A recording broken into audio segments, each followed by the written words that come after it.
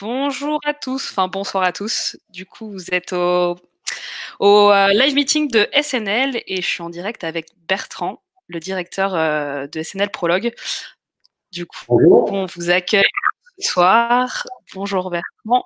Euh, on va attendre quelques minutes que tout le monde se connecte. L'idée, c'est que euh, Bertrand va commencer par présenter euh, SNL euh, et puis ensuite on prendra toutes vos questions. Donc on, a le temps, on a au moins une heure. Ça va dépendre si, vous avez de nombreuses questions. Si vous m'entendez, c'est bien. Vous pouvez ah, Monsieur Roncin, enchanté. euh, moi, c'est Meryl, du coup, et euh, je gère la campagne SNL pour, euh, pour l'ITA, et ça fait deux ans que je travaille chez l'ITA, et je serai votre hôte ce soir avec Bertrand. Bonsoir, Monsieur Roncin, du coup.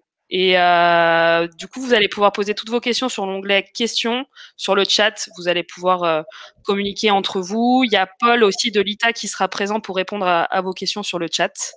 Paul va bientôt se présenter. Et sinon, bah, je vous invite fortement du coup à poser vos questions dans l'onglet questions. Ça nous permettra de, de, de d'y répondre euh, les unes après les autres. Euh, ce sera plus facile euh, à gérer. Et puis à la fin du live, je répéterai un petit peu les raisons pour euh, pour investir dans ce dans ce beau projet. Pourquoi chez Lita on, a voulu en tout cas proposer SNL en investissement. Et, je vous rappellerai les, conditions. Donc je pense qu'on va bientôt pouvoir commencer, Bertrand, si tu es prêt. On a à peu près une dizaine de personnes connectées. Donc, de toute façon, le live sera retransmis. Donc, pour ceux qui ont loupé le début, euh, pas c'est pas un problème. Vous pourrez revoir le live dans son intégralité. Sinon, je te laisse la parole, Bertrand. Merci Meryl. Bonjour, bonsoir à tous. Euh, donc Bertrand Lapostelet, moi je suis directeur de la foncière SNL Prologue. Alors qu'est-ce que c'est que SNL Prologue? C'est d'abord SNL. Euh, c'est la foncière d'un mouvement en solidarité nouvelle pour le logement, euh, qui n'est pas tout à fait une start-up, hein, 32 ans. Euh, un mouvement citoyen, d'abord, avant tout, et toujours un mouvement citoyen, en et très spontané, un groupe d'amis euh, en 1988 qui était malheureusement, on avait déjà des problèmes de, sans-abrisme, de, de, mal logement à l'époque.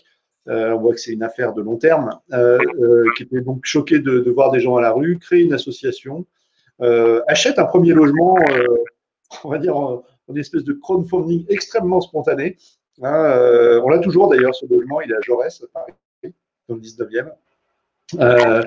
Et, et, ça part comme ça, de manière très, très bricolée. Ça se structure rapidement avec création d'une association euh, qui est devenue aujourd'hui la fédération, hein, SNL Union. Euh, et en 95, euh, création d'une foncière parce que avec un statut donc un peu différent, pas associatif, hein, un statut de coopérative, euh, parce que c'est plus adapté pour euh, pour porter de l'immobilier.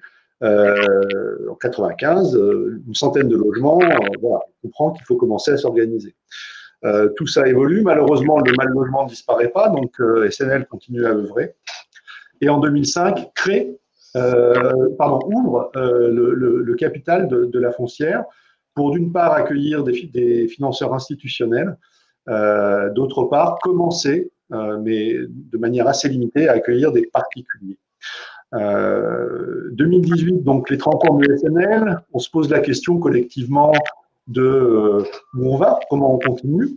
Alors, euh, à cette étape, on a euh, à l'échelle du mouvement euh, à peu près 1200 logements en service, 85 salariés, 1250 bénévoles. Hein, c'est vraiment, quand je disais, c'est une mobilisation citoyenne et ça l'est toujours. On voit bien à travers le nombre de bénévoles que, ça reste vraiment le cas. Euh, le fonctionnement de SNL, c'est d'ailleurs d'accompagner, hein, c'est du logement d'insertion, ça veut dire du logement accompagné.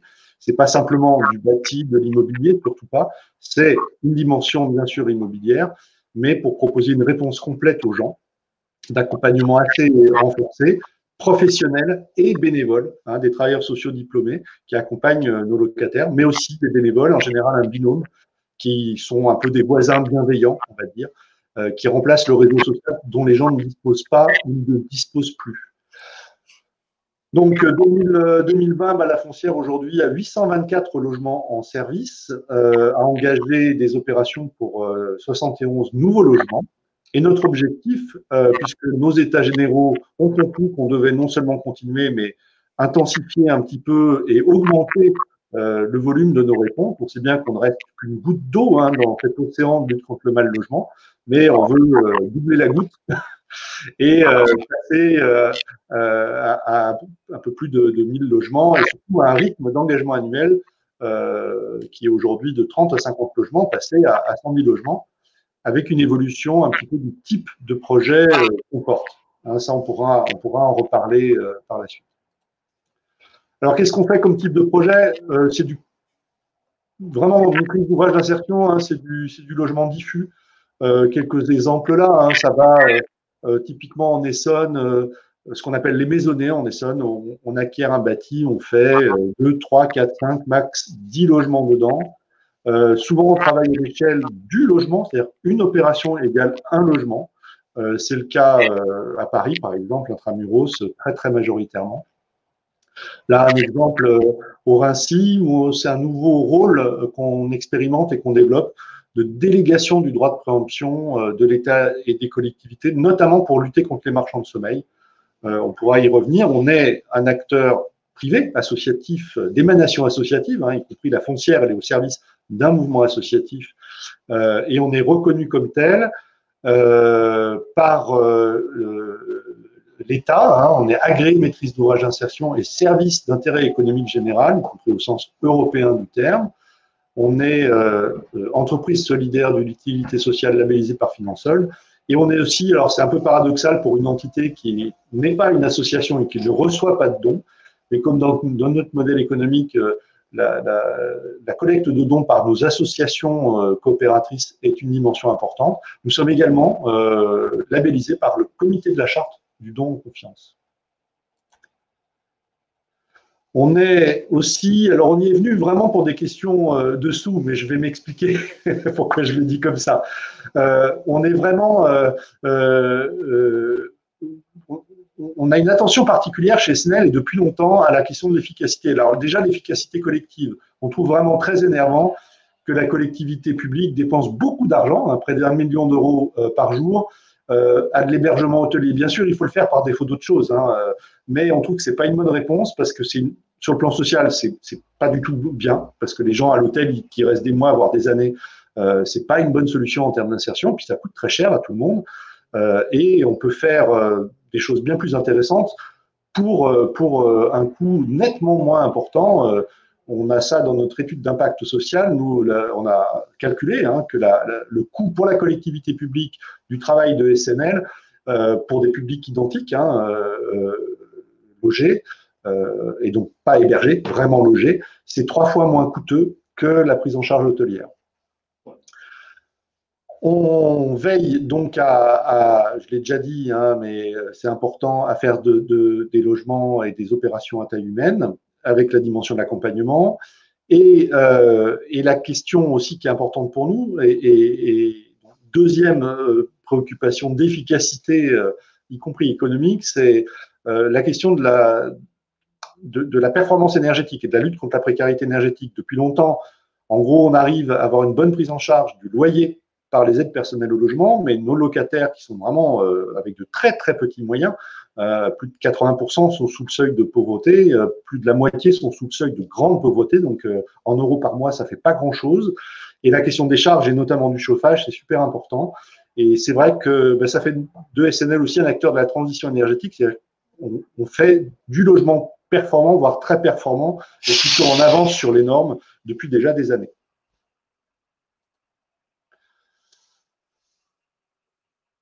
Alors, ce qui est intéressant avec notre, notre logique d'action, c'est que finalement, ce qui est d'abord issu du projet associatif euh, euh, contribue à la solidité de notre modèle économique. Parce que euh, on fait des petites opérations et on veille à ce qu'elles soient bien situées. Alors parfois, ça fait des, prix de revient qui sont élevés, mais on les assume. Et c'est pour ça qu'on mobilise aussi du capital.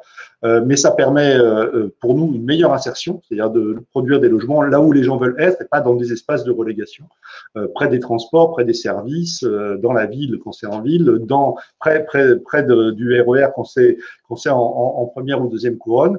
Euh, et euh, ben, il se trouve que ça fait que des opérations euh, bien réhabilitées, puisqu'on fait principalement de la, réhabilitation, donc avec de la performance énergétique dans des endroits bien situés, ça fait que bah, notre patrimoine se valorise et sécurise l'ensemble de notre modèle, y compris celui des associations coopératrices. On a donc une bonne visibilité aujourd'hui de ce modèle et des paramètres de, montage et d'exploitation des opérations, euh, sachant que c'est une vraie gageure, hein, puisque nos loyers sont très faibles. On est en moyenne à un loyer, euh, sachant qu'on est euh, principalement Paris, première couronne, deuxième couronne, à un loyer de 6,70 euros par mois par mètre carré. mais on y arrive, ça tient, ça fonctionne. et on par rapport à l'investissement et spécialement des particuliers et des institutionnels, on garde en permanence une, poche de liquidité de 15% du capital euh, pour faire face aux demandes de, remboursement, puisqu'évidemment, on a des cycles d'entrée et de sortie du capital, puisqu'on est à capital variable. On a aussi euh, une partie du, capital qui revient, puisqu'on va mettre des fonds propres issus du capital euh, de manière non reconstitué ou reconstitué selon les types d'opérations. Pareil, ça on pourra y revenir si vous avez des questions là-dessus. Et, quand on le met avec reconstitution, on le fait sur 25 ans, donc ça fait aussi euh, un retour sur le capital qui permet euh, de, garantir ce modèle économique. Et je vais finir, euh, je vais finir là-dessus. pourquoi aujourd'hui on, fait cet appel public à l'épargne? Euh, bah, c'est évidemment pour euh, mobiliser des moyens pour les opérations et pour le projet de croissance que j'identifiais, mais c'est aussi pour équilibrer les composantes du capital, parce que euh, on a bah, les associations coopératrices qui amènent du capital sur chaque opération en y mettant des fonds propres, on a des institutionnels et on a des particuliers, et on voudrait quelque part idéalement équilibrer un peu les trois tiers, à trois tiers ces trois composantes euh, pour diversifier, puis pour euh, vraiment euh, reboucler avec, avec l'ADN de SNL, qui est un mouvement citoyen. Donc, on veut aussi des particuliers de manière plus importante dans, dans notre coopérative. Euh, et puis, le besoin en capital, on mobilise tout ce qui est des subventions, des prêts, des prêts réglementés, notamment de la Caisse des dépôts et consignations, etc. Mais bien sûr, pour acheter, là où on veut acheter, faire des belles réhabilitations, il faut à chaque fois compléter les montages. Euh, et donc, pour atteindre ce, projet de développement euh, que j'évoquais, hein, en gros, en 2025, on part aujourd'hui de 45, un peu moins de 50 millions d'euros de capital et on voudrait finir autour de 65 millions euh, et avoir 1200 logements en service quand on en a un peu moins de 900 aujourd'hui. Voilà, je finis là-dessus et je reste disponible pour vos questions si vous en avez. On en a déjà, Bertrand. Merci beaucoup, c'était très clair. Du coup, on a quelques questions qu'on va prendre les unes après les autres et potentiellement, moi j'en ai quelques-unes aussi en réserve que certains investisseurs nous, ont posées et qui sont peut-être pas là euh, ce soir. Du coup, bah, on va prendre dans l'ordre si ça te va. La première question qu'on a, qui est aussi celle qui a eu le plus de votes, c'est pourquoi le système de coopérative est-il plus à même de gérer l'immobilier que d'autres statuts? Alors, on peut avoir une discussion sur les différents statuts. Des foncières, il y en a plein de sortes qui ne sont pas forcément des coopératives. Euh, au moment de la création de la foncière de SNL, et notamment euh, à la demande des pouvoirs publics et, de la Caisse des dépôts et consignations, euh, l'orientation était, plutôt d'une comparaison entre le modèle associatif et le modèle société. et ce qui est notamment pour sécuriser le capital et sécuriser les actifs. Ce qui a été choisi, c'est un modèle de société, mais le plus proche possible d'une approche citoyenne, et en l'occurrence, le modèle coopératif, et non seulement coopératif, mais une coopérative particulière, puisque euh, dans l'ordre, je dis dans l'ordre en termes de hiérarchie des normes juridiques, on est d'abord coopérative, donc loi de 47 sur les coopératives, sous forme euh, en union d'économie sociale, donc c'est une forme particulière de coopérative qui est la gestion des intéressés, quand même tout à fait particulier, euh, et euh, ensuite en troisième, une société anonyme, sous forme de société anonyme, puisqu'il faut bien une, forme pour une coopérative.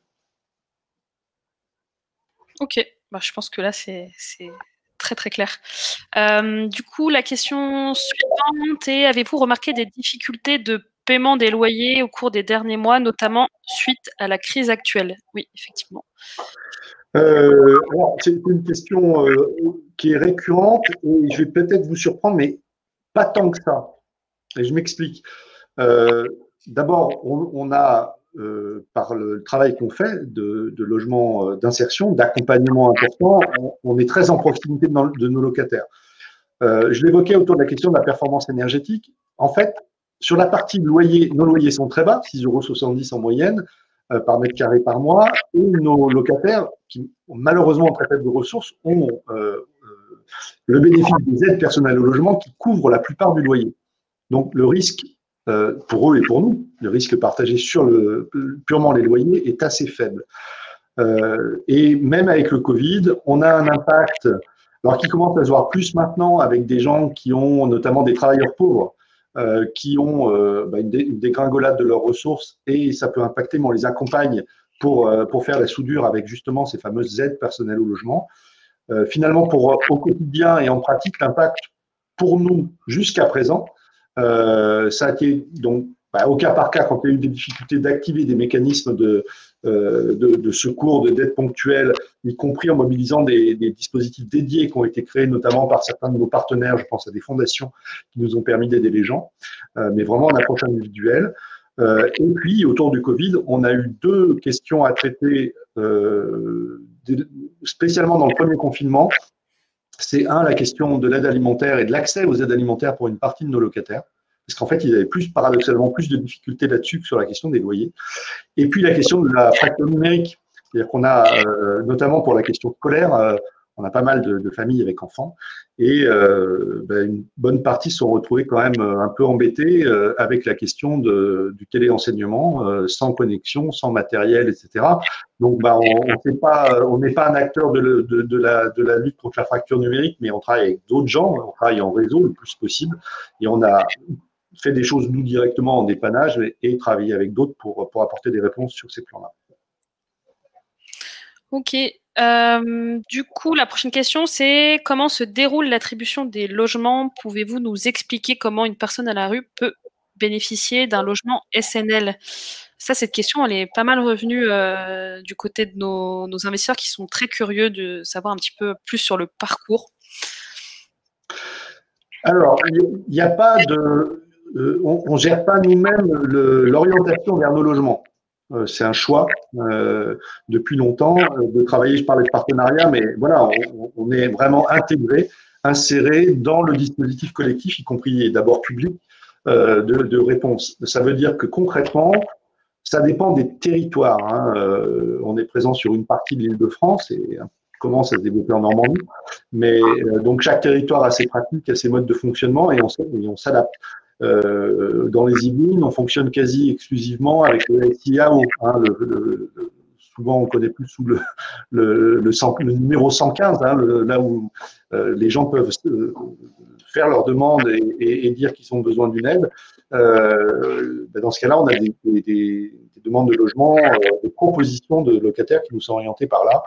Euh, dans d'autres endroits, c'est un mélange de, ce dispositif et du travail social de secteur, notamment des départements, euh, des communes, etc. Et euh, mais, voilà, on n'a pas notre petite filière à nous, SNL, on est vraiment intégré dans le dans le jeu collectif des acteurs du, logement et de l'insertion en général. par contre, on est attributaire, c'est-à-dire qu'on a une, une procédure des commissions internes d'attribution des logements. on refuse peu et il y a deux motifs principaux de refus. C'est euh, quand les gens sont pas, qu'on considère que les gens en fait n'ont pas besoin de nous.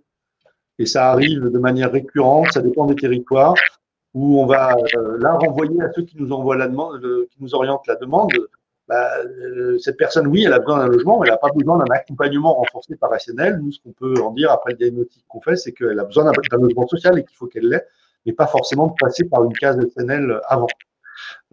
et puis, autre motif de refus possible, c'est euh, euh, quand il y a, euh, ça arrive parfois, pas très fréquent, des refus par les personnes d'une démarche d'accompagnement. Et on peut le comprendre, mais nous, ça fonctionne que si les gens souhaitent être accompagnés. L'accompagnement, on va dire, ça marche dans les deux sens, on propose, mais si, si les gens n'adhèrent pas du tout à l'idée, ça ne peut pas fonctionner. Donc voilà, c'est les, deux motifs de refus d'attribution qui peuvent, qui peuvent arriver. Euh, sachant que évidemment, euh, euh, au départ, on est dans les conditions, on va dire, du logement très social, c'est-à-dire que ne peuvent accéder de toute façon à nos logements que des gens qui sont sous des plafonds de ressources très bas, qui, inscrits comme demandeurs de logement social, etc., etc. donc qui, sont le, passage de la rue directement à SNL est pas évident parce qu'il faut quand même en préalable que les gens aient fait un minimum de démarches auprès du 115, par exemple, pour être identifiés euh, comme demandeurs de logement social, etc. Euh, ceci étant, 80% euh, des gens qui entrent chez nous ne sont pas forcément à la rue, euh, sont sans domicile propre et personnel, c'est-à-dire qu'ils sont principalement hébergés dans des hôtels, dans des foyers, dans de la famille ou chez des amis, etc. Là, plus de 80% n'ont pas de logement à eux. Et comme je le disais tout à l'heure, beaucoup démarrent en fait leur parcours logement chez nous n'ont jamais eu de logement locatif en vrai. Et du coup, pour compléter, est-ce que tu pourrais expliquer euh, vers quel type de structure, comme vous êtes plutôt sur un schéma de, logement d'insertion, euh, vers quel type de logement post-SNL vont la plupart de vos bénéficiaires, ou en tout cas des, locataires que vous avez? Est-ce que c'est un relogement euh, par, par eux-mêmes sur un, sur un, parce qu'ils ont retrouvé du travail ou est-ce que c'est peut-être avec un droit au logement, euh, un logement social plus pérenne, etc. Est-ce que vous avez la proportion? C'est très, très majoritairement un logement social pérenne. D'accord. Très majoritairement. On a quelques. Euh, et les gens donc, qui sont sortis de chez nous sont, ont, passé chez nous en moyenne trois ans. On met pas de. Enfin, là encore, euh, on met pas de limite, hein, on veut pas précariser les gens dans, nos logements. Euh, c'est une étape, mais c'est l'étape euh, qui durera le temps qu'il faut, quoi, hein, euh, avant qu'on puisse ensemble avec les locataires trouver une solution qui va bien. donc les gens sortent principalement vers le logement social. On a, y compris dans notre stratégie de production par la foncière et avec les assos locales, on développe un petit peu de logement pérenne chez nous, parce qu'on a dans quelques cas des gens qui sont prêts à sortir de nos logements euh, et quand, ils prêts, il vaut mieux qu'ils sortent parce que le, bah, boulot est fait. C'est euh, dommage de ne pas fluidifier le système. Mais on voit que dans certains cas, par rapport à leurs contraintes, leurs souhaits et leurs contraintes de localisation, etc., bah, on ne trouve pas la réponse euh, dans le logement social ni dans, mois dans le logement privé. Et dans ce cas-là, ça nous arrive ponctuellement, mais quand même de plus en plus fréquemment, de produire la, la solution pour eux. De logement pérenne, il reste locataire pérenne chez nous, par contre, avec un accompagnement qui est très fortement allé, voire euh, mm. Du coup, ça fait la, suite sur la prochaine question, sur le type d'accompagnement euh, de, SNL Association. Du coup, comment ça se matérialise euh, Justement, tu parlais, enfin, on parlait des différentes démarches. Certains viennent directement de la rue. comment ça se matérialise l'accompagnement du coup de SNL Association? Enfin, est-ce qu'il y a des spécificités selon les centres euh, réservé, peut-être aux familles, réservé aux, personnes seules, aux femmes, etc. Est-ce que tu peux nous en dire un petit peu plus là-dessus? Alors nous, en termes, bah, tout dépend des logements qu'on peut mettre à, disposition. On, a, euh, on loge, euh, on loge des profils très diversifiés en termes de composition familiale, hein, mais on retrouve quand même des constantes qui sont les constantes du mal logement, des isolés, pour les familles, plutôt des familles monoparentales. Euh, et euh, en termes d'accompagnement, bah, euh, nous, la réponse, elle est, elle est mixte, hein, ce que j'évoquais rapidement tout à l'heure. C'est que bon, le premier métier chez SNL, le premier en nombre, hein, c'est les travailleurs sociaux. On en a, on a au total, on doit être à date, on doit être 88 salariés euh, si on prend tout le mouvement, hein, c'est-à-dire la foncière, les associations, etc. Euh, et on doit avoir 36 euh, ou 37 travailleurs sociaux. Donc chaque ménage dans nos logements passerelles, chaque locataire est accompagné. Un travailleur social chez nous a euh, en moyenne 30, 35 ménages à suivre. alors il y a des cas particuliers dont on va peut-être qu'on reparle, c'est les pensions de famille, y compris une diversification de la réponse. et en principe, alors bien sûr, euh, sur le terrain, c'est pas toujours euh, strictement ça dans un sens ou dans l'autre, mais il y a, en principe, pour chaque locataire, il y a un binôme de bénévoles euh, qui sont regroupés dans des groupes locaux de solidarité. Hein, c'est très très local, c'est à l'échelle du quartier, de la commune, ça dépend des endroits, et qui vont tout le long euh, si possible, on, demande à nos bénévoles un engagement durable euh, auprès, des, auprès des locataires parce qu'on veut un petit peu de stabilité, c'est important dans la, dans la relation. Euh, et donc, chaque locataire a un ou une référente travailleur social et un ou deux bénévoles aussi en, référence qui font un travail tu disais de, voisins bienveillants. souvent, les gens qui arrivent chez nous, ils ont ils débarquent un peu dans le coin où ils sont, où on les loge, et ils n'ont ils ont pas de réseau social. C'est souvent une des difficultés qu'ils ont, en plus des difficultés économiques. Et nos bénévoles, c'est ça qu'ils apportent en premier. C'est ce, ce, réseau relationnel, la connaissance du coin, le lien, les petits coups de pouce qui vont bien pour expliquer comment ça marche, pour faire le lien avec l'école, pour faire le, etc., etc. Toutes les choses du quotidien. Du coup, on va peut-être sauter quelques questions pour rester un peu sur la même thématique. On a plus ou moins répondu. Il y a une question qui dit s'agit-il d'une solution de logement durable ou plutôt une solution de dépannage? Quelle est la durée moyenne de séjour? Qui a peu près répondu du coup. Et il y a une autre question qui vient compléter. Si je comprends, SNL offre logement plus accompagnement en vue d'une étape ultérieure vers un logement social long terme. Bon, du coup, c'est bien résumé. Euh, du coup, la durée moyenne, tu as dit, c'est trois, c'est trois ans à peu près? Les, gens qui sortent de chez nous ont passé en moyenne chez nous trois ans et trois mois, pour être précis. Mais euh, on a, y compris dans les gens qui ne sont pas sortis, il y a des gens qui sont là depuis beaucoup plus longtemps. Euh, on a des locataires en logement passerelle qui sont là depuis une dizaine d'années. Euh, à un moment, c'est très individuel aussi la réponse. Il y a des gens, il faut du temps d'accompagnement pour qu'ils puissent prendre ou reprendre un parcours résidentiel.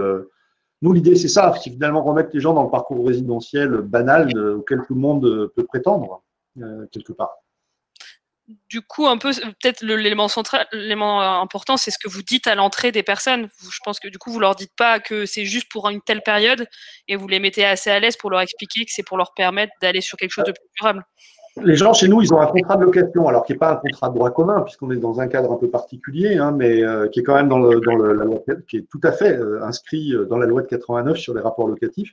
Et simplement, il y a une limitation dans le temps, mais on, on, renouvelle et on leur dit dès le début, tant que les gens jouent le jeu de la. Bien sûr, quelqu'un qui part en recul, il y a comme dans n'importe quel logement, quelqu'un qui et disait on a quelques échecs, c'est normal.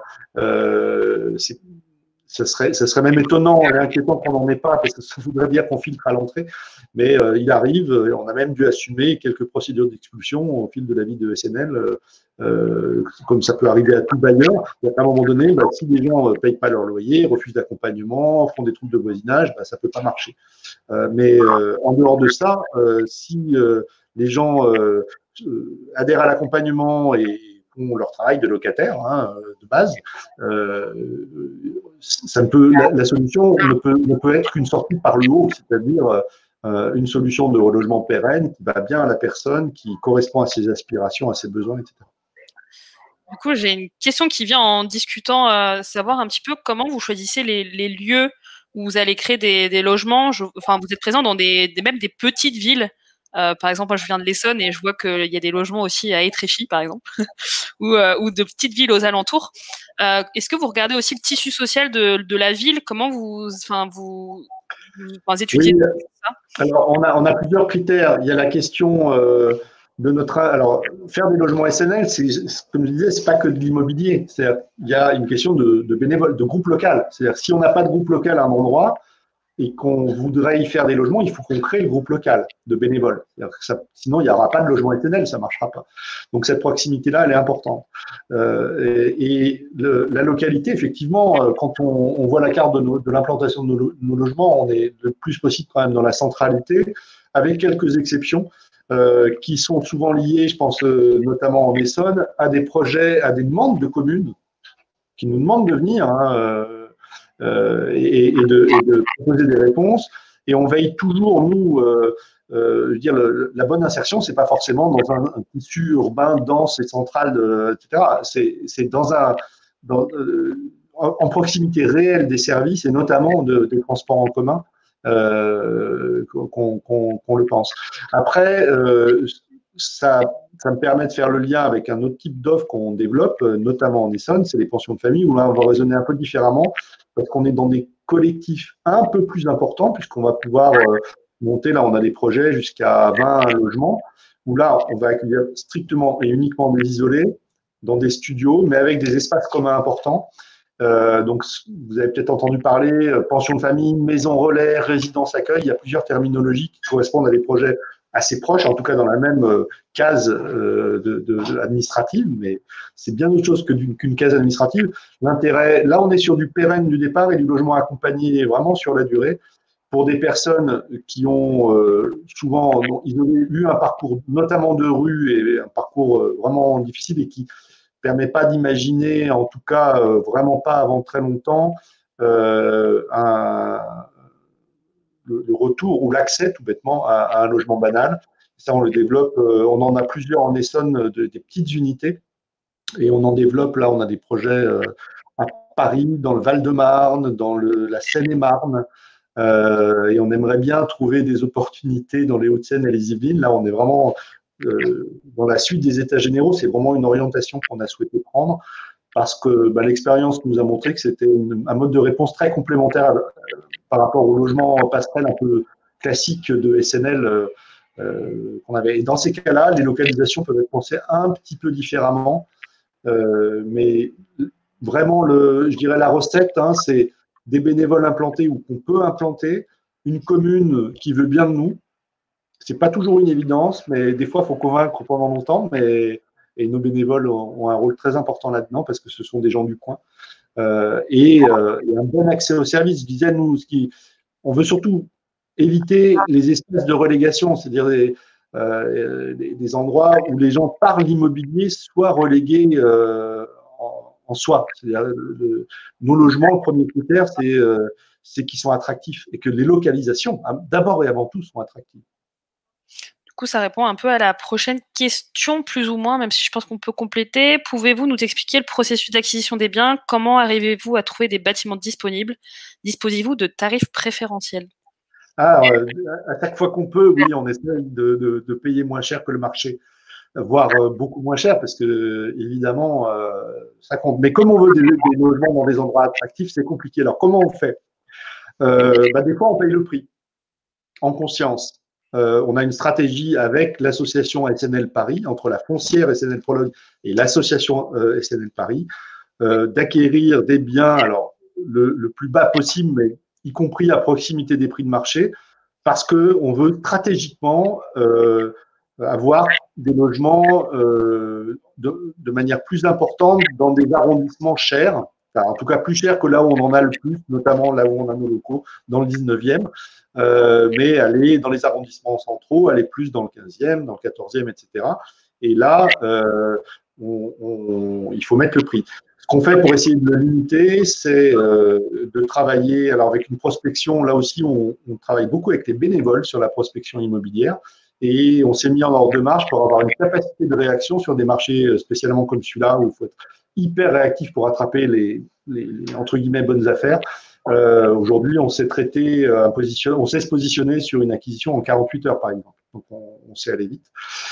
On essaye aussi de travailler euh, sur des bois à réhabilitation, c'est-à-dire un démembrement de propriété ou de propriétaire bienveillant qui a envie de faire quelque chose avec son bien, nous le confie et où en gros on échange la réhabilitation du bien contre sa mise à disposition en, sous forme de droit réel immobilier, c'est-à-dire qu'on est comme le propriétaire pendant euh, idéalement 15-20 ans. Et pour le propriétaire, le nu, propriétaire qui reste nu propriétaire pendant cette période-là, euh, pas de taxe foncière, pas de gestion effective, rien, simplement pas de rentrée non plus, hein, évidemment. Mais à la fin, il retrouve un logement qui a pris de la valeur par la réhabilitation et le maintien en bon état qu'on est capable de faire. On essaye aussi euh, de travailler avec les collectivités.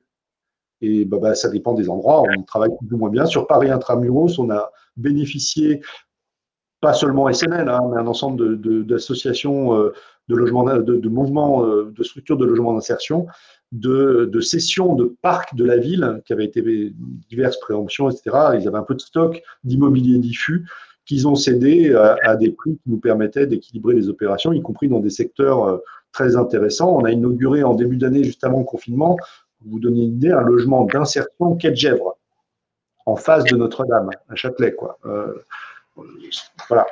Ça, on ne peut pas le faire si on n'a pas un coup de main très sérieux de la collectivité, parce que là, le prix de marché, il est inatteignable, même avec beaucoup de capital.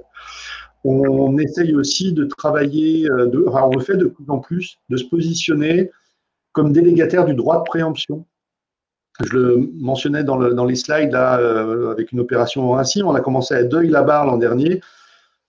pour nous, c'est un double avantage, c'est que ça permet de lutter contre les marchands de sommeil et l'habitat dégradé.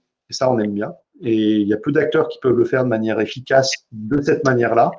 Donc, on a considéré qu'on avait une responsabilité à regarder comment ça marche. Et ça permet euh, d'accéder à des biens euh, à des prix euh, souvent moins chers, voire beaucoup moins chers que le prix de marché, puisque l'État ou les communes, selon les cas et selon les secteurs, peuvent, quand ils voient qu'il y a un bien qui est vendu bizarrement en dessous du prix, qu'il y a un truc, voilà, des, c'est un peu biscornu, c'est un peu étonnant, peuvent préempter euh, c'est-à-dire prendre la priorité sur l'acheteur euh, et nous déléguer ce droit de préemption. Ça nous a permis, euh, d'œil là-bas, on a récupéré un immeuble de 5 logements, un petit immeuble de 5 logements plein avec des locataires qu'on a relogés. Maintenant, on est en phase travaux.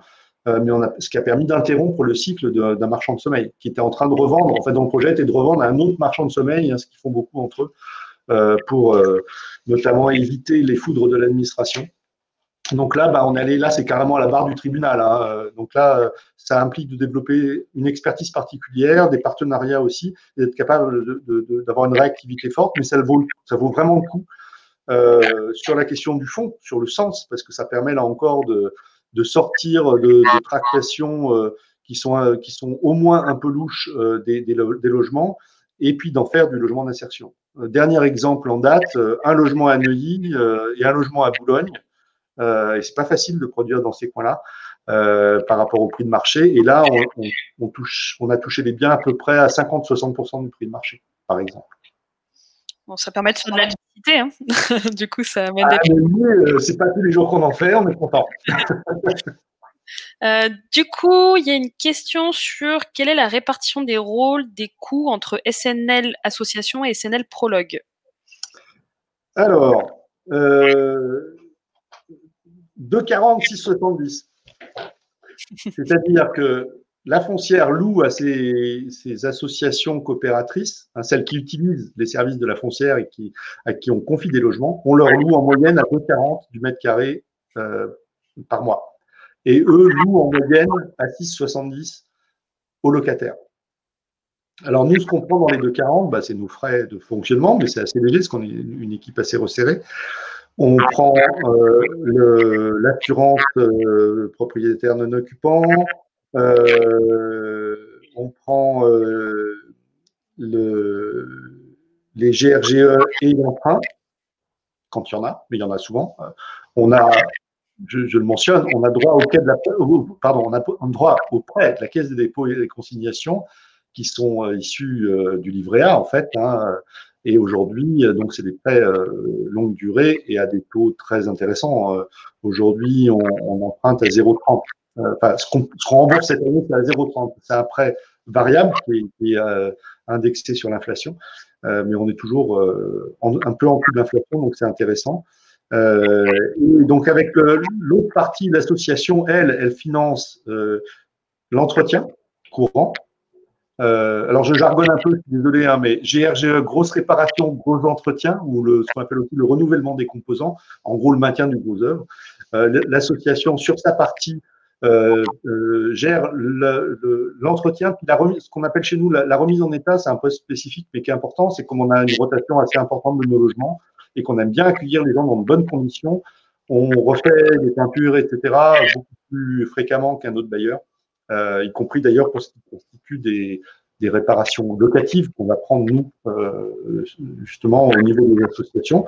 Et puis la, finance leur, gestion et la taxe foncière, la fiscalité, sachant qu'on a des exonérations importantes, mais qui ont une fin, c'est-à-dire qu'on est exonéré de taxe foncière en général pendant 25 ans. Euh, et la 26e année, ça commence à impliquer un peu, euh, surtout dans les secteurs où on est. Donc, on, voilà. En gros, la répartition à des j'essaye de me les relister en, en, tête, je ne crois pas avoir oublié euh, grand-chose. Mais c'est ça, la répartition entre, entre la frontière et les coopérateurs. Alors, là, il y a une autre question, mais ça, je peux y répondre. C'est la recherche actuelle de capital est-elle pour SNL, du coup, association ou SNL Prologue Je confirme que c'est pour SNL Prologue. Oui, oui, oui, il n'y a que SNL, il n'y a que la foncière qui a du capital. Les associations n'en ont pas. enfin, elles en détiennent dans leur coopérative, mais elles n'en ont pas elles-mêmes. Et oui, on recherche du capital pour la, coopérative foncière pour nous permettre de d'assurer en fait le mode économique de la production qui, même si on mobilise donc des prêts avantageux, des subventions publiques qui restent encore très consistantes euh, pour faire ce qu'on veut faire, donc euh, produire dans des endroits où euh, c'est c'est pas forcément bon marché de produire, il faut mettre au bout euh, et, et, contribuer et mettre du capital dans les opérations, sinon on ne peut pas les équilibrer. Et est-ce que, du coup, pour rebondir, si tu pouvais nous expliquer un petit peu sur les subventions publiques, comment ça fonctionne? Peut-être euh, l'attribution? Est-ce que c'est ah, quelque chose sur lequel vous pouvez compter chaque année? Euh, Souvent, on a la question euh, du fait que chaque année, c'est pas forcément reconductible. Là, c'est pas le cas pour SNL. On voit qu'il y a une vraie stabilité. Est-ce que tu peux nous en dire un peu plus sur le fonctionnement? Alors, on est un, acteur agréé, hein, comme je mentionnais tout à l'heure, au titre du Code de la construction et de l'habitation. Alors ça, ça fait pas tout, mais c'est important. Et, à ce titre-là, on, a le droit de mobiliser un certain nombre de subventions. Euh, de l'État, même si c'est plus tellement de l'argent du budget de l'État, mais ça c'est une autre histoire, mais enfin de l'argent distribué par l'État euh, au titre de ce qu'on appelle les, les, PLAI, prêts locatifs aidés d'intégration. Donc il y a un prêt de la caisse associé à un régime de subvention. Euh, qui reste encore assez, assez euh, important euh, malgré tout, même s'il se dégrade régulièrement. On a un financement important lié à ça, qui est celui de la région Île-de-France, qui euh, ne soutient plus le logement social en général, mais soutient le logement d'insertion en particulier, le soutient bien, puisque ça peut monter jusqu'à 30% du prix de revient des opérations, hein, c'est pas rien. Euh, les départements, bah, ça dépend euh, desquels. Ils ne, financent pas tous, hein, c'est pas dans leur comme d'ailleurs pour la région, c'est pas dans leurs compétences obligatoires. On a des EPCI, hein, des, agglomérations, des communautés de communes et des communes également. En principe, on, a, on demande aux communes dans lesquelles on intervient de financer. Euh, je, dis, bien en principe, parce qu'on a des communes de capacité économique très variable, mais on trouve important qu'elles contribuent euh, à l'échelle de, leurs moyens, euh, et parce que ça, ça permet aussi de déclencher un financement complémentaire de l'État. Mais c'est d'abord une question de, principe, c'est-à-dire pour, pour nous signifier qu'elles nous accueillent et qu'elles sont d'accord avec ce qu'on fait. Euh, donc tout ça, ça fait une quantité, une proportion de subventions qui va être euh, entre 50 et 70% donc c'est encore très avantageux aujourd'hui. Euh, mais on sait, et, dans certains cas, il y a eu des compensations entre les différents financeurs relativement, mais globalement, on va vers une diminution des financements publics à moyen terme. Et c'est aussi pour ça qu'on souhaite diversifier et muscler notre capital issu de, la mise de fonds privés, qu'elles soient associatives, institutionnelles ou des particuliers. On a une question un peu différente. Euh, y a-t-il un partenariat avec des solidaires ou des intervenants concernant la promotion ou l'éducation à l'alimentation saine? Alors, il y a, y a euh, on n'a rien de systémique là-dessus, mais il y a euh, dans certaines associations je pense en Essonne et dans les Yvelines, euh, et surtout en lien avec des groupes locaux de solidarité particuliers, hein, nos, briques de base, hein, nos groupes de bénévoles qui sont inscrits, euh, qui sont euh, mobilisés localement, il y a des choses qui se font régulièrement. Et on a un projet intéressant. Alors, on essaye aussi de, je disais, on a les projets de pension de famille, on a aussi des projets où on essaye de travailler alors c'est souvent un peu compliqué, mais c'est très intéressant, des partenariats autour du logement. Et on a eu quelques opportunités immobilières qui ont permis de faire des choses avec du partenariat, euh, euh, avec des gens qui font complètement autre chose que du logement. Notamment, on a une opération en cours de travaux à hier en Essonne, euh, où on a racheté un ancien couvent. C'est un gros truc pour nous à notre échelle, hein, puisque là, on produit 23 logements en réhabilitation et on prévoit en phase 2 d'autres développements, peut-être une pension famille, ce genre de choses. Il y a un ancien potager euh, qui, était, qui était exploité par, par les sœurs qui, qui vivaient là. Et on l'a mis à disposition d'une association d'insertion avec laquelle on, travaille. Et la seule, on leur demande pas de loyer, mais la contrepartie qu'on leur demande, c'est à terme, quand nos locataires seront là, c'est qu'il y ait du travail qui puisse être fait avec eux, euh, de sensibilisation à l'alimentation, pourquoi pas euh, de cultiver des, des, carrés euh, euh eux-mêmes pour, pour, leur, pour leur autoconsommation, etc. Euh, donc voilà, pas, pas d'action systémique, mais vraiment une attention. C'est comme la question de la précarité énergétique, c'est entre guillemets des à côté qui n'en sont pas. C'est-à-dire que c'est des dimensions qui sont très importantes dans le quotidien des gens, et y compris dans leur. Il y a, l'équilibre alimentaire, il y a l'équilibre budgétaire. On sait bien que c'est compliqué de bien se nourrir à petit budget mais c'est pas impossible. Et dans euh, certaines conditions, le, les conditions d'habitat peuvent apporter une réponse là-dessus. Enfin, cet exemple de pouvoir euh, accéder demain pour les locataires à, l'usage d'un bout de potager, etc. Euh, concrètement, ça peut faire la différence sur la qualité et sur les coûts. Mm. Du coup, on a une dernière question avant, je pense qu'on qu conclut. Hein. On a eu pas mal de, de questions. C'est cet investissement dans une structure ESUS bénéficie d'un avantage fiscal hier. Cela suppose que SNL est une jeune structure. Quid du passé?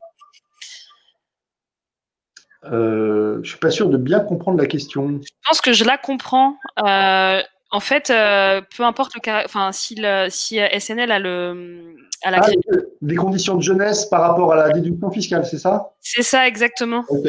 Alors, oui, on a effectivement la foncière n'est plus dans les conditions de jeunesse pour avoir euh, l'abattement classique euh, lié à ce qu'on appelle souvent le Madelin.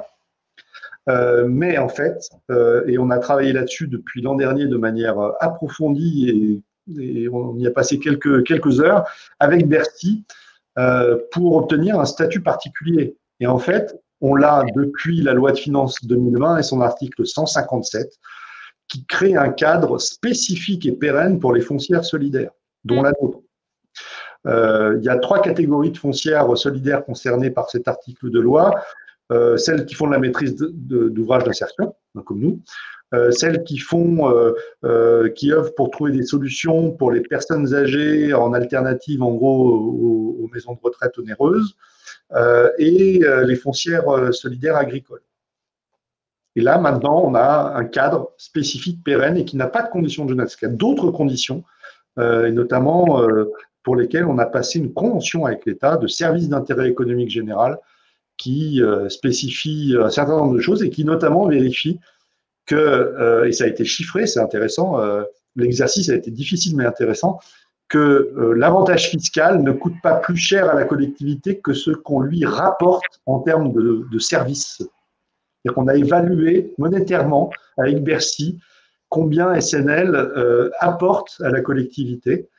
Et euh, Bercy vérifie avec la Commission européenne, ça c'est vraiment un critère de la Commission européenne, qu'il euh, euh, n'y a pas ce qu'ils appellent une surcompensation, c'est-à-dire que l'avantage fiscal qui est obtenu avec les souscriptions dans notre coopérative ne coûte pas, donc ça fait un moins, un moins 10 ans de recettes pour la collectivité, mais il, a été calculé que ça valait le coup pour la collectivité de faire ça. Du coup, bah, en fait, c'est aussi, ça permet aux citoyens de, de, diriger euh, là où ils veulent un petit Absolument. peu. Ça leur donne un, en tout cas un pouvoir. Euh, du coup, on a une dernière question qui est un peu plus personnelle. Quelle date début et fin pour souscrire? J'aurai des disponibilités en janvier. Euh, du coup, la souscription, ça sera cette semaine. Le jour euh, reste encore à déterminer. On est en train de finaliser les, euh, euh, éléments juridiques. Et pour la fin de souscription, c'est fin décembre pour avoir justement cette réduction fiscale sur l'année 2020. Après, vous, levez aussi régulièrement des fonds, donc c'est pas c'est pas quelque chose qui sera fermé pendant plusieurs années. Au contraire, ça sera aussi possible potentiellement d'investir en 2021. Oui, absolument. Je, confirme que ça sera possible. Et non seulement ça, mais la loi de finances 2021 n'est pas finalisée, mais l'amendement euh, validant la même, le même pourcentage de déduction pour l'an prochain est déjà passé. Oui, je confirme. Donc potentiellement, ça sera aussi 25. Donc, euh, du coup, pour conclure, si tu, sinon, si tu veux ajouter des choses, mais peut-être pour euh, expliquer pourquoi l'ITA, nous, en tout cas, on a, on a choisi de, de, de, suivre SNL et de vous le proposer aujourd'hui, c'est que pour nous, en fait, c'est une structure qui est véritablement reconnue euh, dans l'économie sociale et solidaire, avec un mandat d'intérêt général. un impact, un impact fort et ça, il n'y a pas à le démontrer. Enfin, on l'a vu depuis 45 minutes, l'impact réel de, de, de, SNL. On est vraiment dans, dans l'ultra social. Euh, ensuite, le faible risque opérationnel. C'est une structure robuste aux finances saines et disposant d'une réserve de projets acquis conséquente. Ensuite, l'activité fortement subventionnée par les pouvoirs publics qui dépendent d'acteurs spécialisés comme SNL. En fait, ils délèguent euh, quelque chose que l'État pourrait faire euh, à, des associations euh, comme SNL afin de bah, du coup mettre en œuvre une politique efficace de, de logements sociaux. Et la dernière, le dernier point pour nous, et c'est quand même l'élément central pour, pour chacun de nos projets, c'est qu'on pense que euh, du coup l'équipe est, est, très forte et c'est une équipe expérimentée et complémentaire euh, sur lequel euh, du coup, on, peut miser et on peut se dire que SNL Prologue et SNL Association a de, de beaux jours devant, devant, devant elle. Pour les conditions, du coup, le ticket minimum, il est à 1000 euros. Euh, on cherche 500 000 euros. Et du coup, l'avantage, l'avantage financier, il est fiscal, comme on l'a dit, avec cette réduction d'impôt à, à, 25%. Je ne sais pas si tu veux rajouter quelque chose, Bertrand, mais sinon, de mon côté, on est bon. Non, simplement peut-être en, conclusion dire que avec cet euh, appel public à l'épargne et partenariat avec l'État, on cherche, vous l'avez compris, euh, à muscler euh, notre capital pour, pour agir plus face aux besoins. mais on cherche pas seulement du capital, on cherche aussi des investisseurs solidaires, des gens qui resteront avec nous à long terme et qui, pourquoi pas, s'impliqueront autrement avec nous. C'est autant des gens que de l'argent qu'on cherche. C'est une bonne conclusion. Euh, du coup, pour euh, revoir, enfin, en tout cas, merci pour tous pour ce live. Pour le revoir, on va vous envoyer du coup le replay pour ceux qui n'ont pas vu euh, tout, toute l'intervention. Et pour investir, vous aurez une notification cette semaine pour l'ouverture des souscriptions. Ce que je vous conseille, c'est de, si vous l'avez pas fait, de mettre une intention d'investissement déjà aujourd'hui, enfin ce soir ou, ou, ou, dans les prochains jours pour être informé en premier lieu de ce passage en collecte. Voilà. Merci à tous et merci à toi, Bertrand. Merci à vous. Bonne soirée. Bonne soirée.